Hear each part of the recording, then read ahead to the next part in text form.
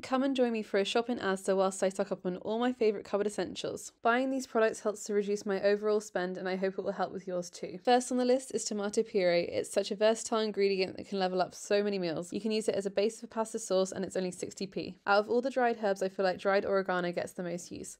Stir it into anything tomatoey or use it alongside yogurt in a Greek-inspired marinade. It's so good. These garlic granules are 60p for 115 grams, so amazing value. And also if you want to save time and you don't want to worry about peeling or burning garlic, then this is such a good product. Next up is this Asda Essentials Crunchy Peanut Butter. You can use it in sweet recipes, savory recipes, it's so versatile, it's always in my cupboard. Last but not least is Asda's Clear Honey. The value of this is crazy, it's only 75p and it probably lasts me about two months.